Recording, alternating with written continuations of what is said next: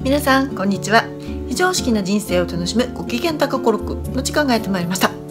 えっ、と久々の更新になりますがえっ、と今日はですねあのー、まあいろいろセッションもやってたんですけれどもただいま、えー、新刊本ですね。じゃん。こちらの本ですね。こんなでかくないですよこれ。A4 で印刷しててまだ実物がないからこんなでかいんですけどもあの私のね新しい新刊というかまあ初めて紙本で出すんですけど電子の方はね10冊ぐらい出してるんですけど今回初の紙本で気合が入って頑張ってますしっかり稼げる自宅教室の、えー、開業集客バイブルということでねこちらの方の本の、えー、事前予約キャンペーンをただいま絶賛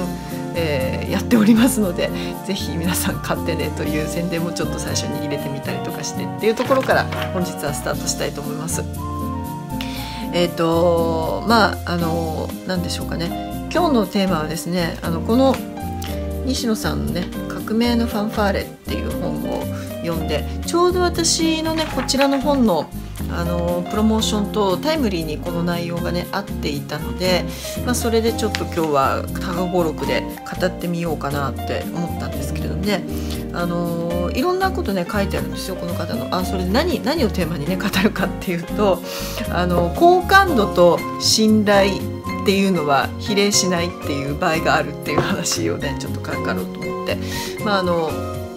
信用信頼と好感度ですねあの私これはあの私のコンサルタントがねこれあの戦略がそういう販売戦略が載ってましたよねっていう話をコメントで聞いたんでその後すぐ取り寄せてあの買ったんですけどベストセラーですよね。7万部っていうことで私もね7万部とか行くといいなっていうふうに 思ってはいるんですけれどもね。あのなんだろうマーケティングの観点から見ても大変面白くあの読ませていただいて、まあ、後ろの方にもいろんな著名人のねこのコメントとか帯で載ってるんですけど例えばあの秋元さんとかねあの西野は惜しげもなく手品の種を教えてくれているただ彼は天才的なマジシャンだということを忘れてはいけないみたいなね、まあ、そんなことが書かれてたりとかまあ、堀江さんとか西野が起こす革命を人は奇跡と言うだろう。だが彼のしていることは理屈の通ったまっとうな成功法だとかいうこと、まあ、あのそういう方たちから、ね、評価されている。で私はあのキングコングのっていうその状態の彼を知らないんですよ。芸人としての彼を。ちゃんと見てテレビあんまり見てなかったんで。知らないんですけれどもあのこの本を単体で評価する部分においてやっぱビジネスマンでしかもクレバーな方だなというあ言ってることをねまあ人によってはもしかしたらまあ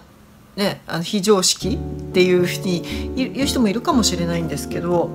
あの私はすごくね共感できたし好感が持てましたね。あフリー戦略って言ってあまずはこのね無料でこう公開をすることによって、まあ、絵本がね売れていくその戦略の組み立て方とか、まあ、いろいろとですね、まあ、書いてあってとてもね参考になったしすごいねいろいろね考えてあるんですよ彼のこのこれって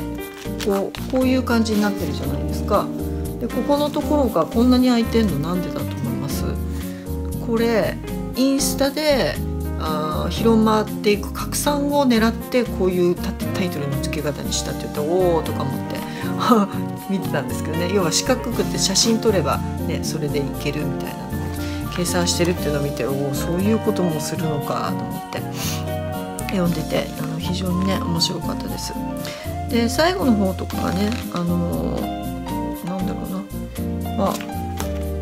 若干そうね人によって毒舌とかっていうふうに思うのかもしれないけど私は結構まっとうな感じだなと思っていて、まあ、最後のね部分をこう言っちゃうとネタバレになっちゃうので言わないんですけど、まあ、一番最後のここねここに書いてあるところとか読んだ時の読後感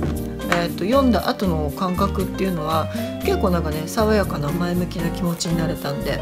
あ私もそういう本ね書きたいなって言ってあまだね、まあ、出版してないんですけどそういう読後感がよくて前に向かって歩き出そうっていう感じになる本いいよねと思って、まあ、一応自分的には後書きもそういうふうにね書いたつもりなんですけど 皆さんにそういうふうに伝わるといいなというこう作者としての自分の気持ちも含めてね書いてたんです。でそのだから彼が好感度が低いっていうのは全然私知らなかったんで、まあ、信頼と好感度はあの連携しないとかっていうようなね話信用か、うん、お金を稼ぐのは信用を稼げっていうことでね。だからクラウドファンディングで彼は1億円とかを調達しているわけなのでここはもう信用っていうことに他ならないわけでただタレントとしての好感度はねあんまり良くないっていうあそうなんだとか思ってあの実は私ねえっ、と昨日かネイルサロンに行ってるんですよ。これ秋バージョンのねこうこういう爪にねしてもらうのに行ってるんですけどその時のネイルの担当の人とお話ししてて、まあ、この「革命のファンファーレ」っていう本ねつって言って面白かったんだよねって話をしてまあ私のねこっちの本が出るんだよっていう話の流れからまあそういう話になったんですけどもでその時に「ああキングコングの西野ですよね」とか「好感度低いですよね」って彼女が言ったんですよだから「ああ好感度低いんだ」とかっていう感じでねでも書いてる中身はねまっとうなんで。うん、好感度と確かに信用とかっていうのは連動しないのかもしれないなっていうふうに思ってました。まあ、あの両方いけるに越したことはないのでね、まあ、私は好感度と信用と両方ゲットできるような 人でいたいかなというふうにはね思ってますけど。まあまああの非常識飛ぶ常識ね。非常識思考で考える分には、まあ、あの人の評価はね人の評価なんで、まあ、あまりこう一喜一憂しないっていうのは決めているので。まあ、そんな感じで頑張っていければいいのかなっていうふうに思いましたなのであのー、今日のテーマなんかちょっとグダグダになっちゃったんだけどなんてまとめておこうかな、えー、好感度と信用は連動しないっていうふうにしておきましょうかいいのかなこんなんで。まあたまにはそういう時もあってもいいでしょう。で最後にもう一回宣伝しておきます。じゃん。こちらの本ですね。えっ、と発売は12月の12日。おそらく全国の書店に置かれる予定、えー、事前予約はもう絶賛受付中ですので是非皆さんよろしくお願いいたします。それでは。